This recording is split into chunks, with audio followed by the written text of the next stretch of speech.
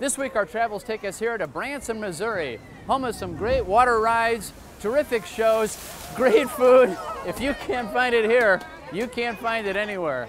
Let's explore Branson, Missouri.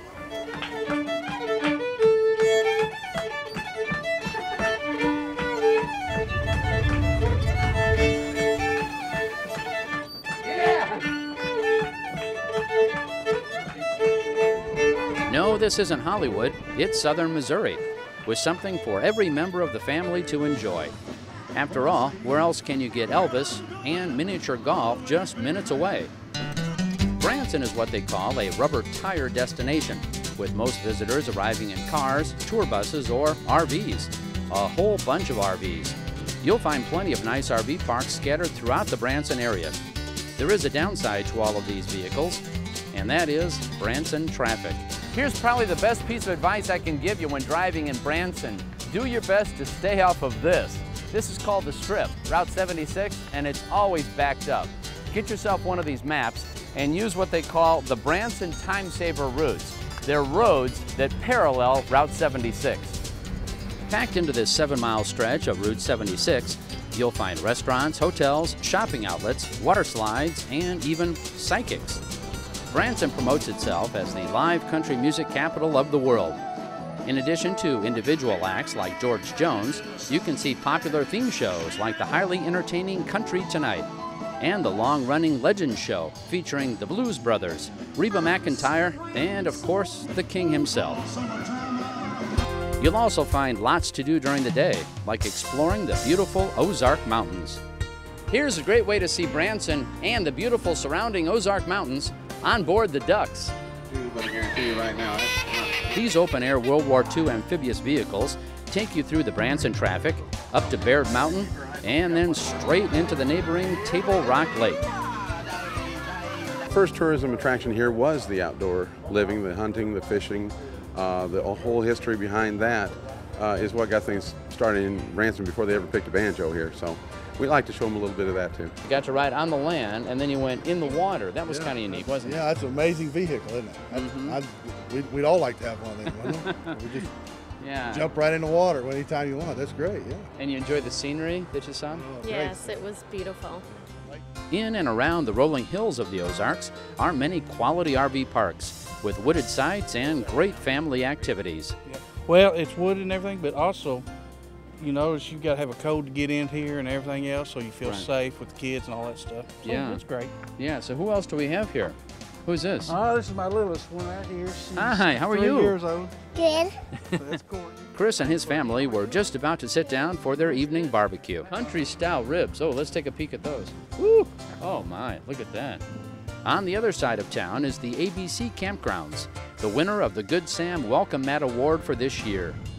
The campground has 162 sites with full hookups, seven cabins, a cozy main lodge with a store, and a 300 seat pavilion. We call ourselves City Close and Country Quiet. We can be anywhere in town in just a few minutes because we're just right on one of the bypass routes, so you don't have to be in the traffic on the strip. We're here on the front porch of the lodge, Jim, and boy, what a nice place to kick back with a good book. It's a great place for people to sit and visit or sit by the door and meet other RVers as they come in. Yeah, mhm. and maybe do a little whittling because we're down here in the Ozarks. yeah, a good spot to do that too. Yeah, and I'm looking right over here is a gorgeous swimming pool. And uh, although we got a little uh, rain today on a nice sunny day, boy, I bet this place is just packed. Yeah, it gets filled up with kids and, and uh, the parents watching them swim. ABC has added another great feature this past year the only RV car wash in Branson. Decided that we'd make it a little more convenient for them to find one and we built it here in the back of the park. That's a great idea. First one I've seen. What do you like about uh, America's best campgrounds here? Oh, it's convenient to town and it's clean and it's just, you know, the people are really friendly and it's good service. You just, if anything you need, they just, they're over anxious to help you. We met plenty of RVers pulling their boats in and around Branson, including Gary Clark and his family from Wichita, Kansas, who were negotiating the Branson streets at night like true pros. This happens to be a 39 foot Discovery made by Fleetwood. It's a triple slide and it's a diesel powered. It's got a 330 Cat and a six speed Allison. Behind it is a 26 foot Chaparral and with a trailer, it all measures about 80 feet long. and it's really not a problem. The only problem we've had is finding a parking place. Wow, you have some room in here. Look at this room. Thank you. We really enjoy it. I tell you, when you have a large family and a large group of people getting together, there's nothing better than a triple slide. Gary enjoys bringing his large family to Branson because of the three scenic lakes in the area, perfect for swimming, boating, and fishing. They also enjoy the fun at Silver Dollar City. On site, you'll find some great rides, shows, and nearly 100 craftsmen demonstrating pottery, glass blowing, and blacksmithing. So here you see a strong arm and a blacksmith's hammer making a delicate, beautiful rose out of iron, and it just lasts forever. And it's it's uh, it's indicative of the kind of work and the kind of attention to detail that the craftsmen in the old days had to have to survive. All right, so here's Granny's Lye Soap. And you know, whenever I think of Granny's Lye Soap, I think of Granny from the Beverly Hillbillies making lye soap in the cement pond in the backyard. Remember that? And in fact, Granny was here when the Beverly Hillbillies filmed an episode of their show at Silver Dollar City in the late 60s. I don't think Jed and Granny did any wine tasting while in town, but you can do free tasting at the Stone Hill Winery just off the main drag in Branson.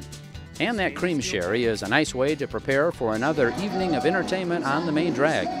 Maybe some more country music or the top hits of the 60s. There's something for everyone here in Branson.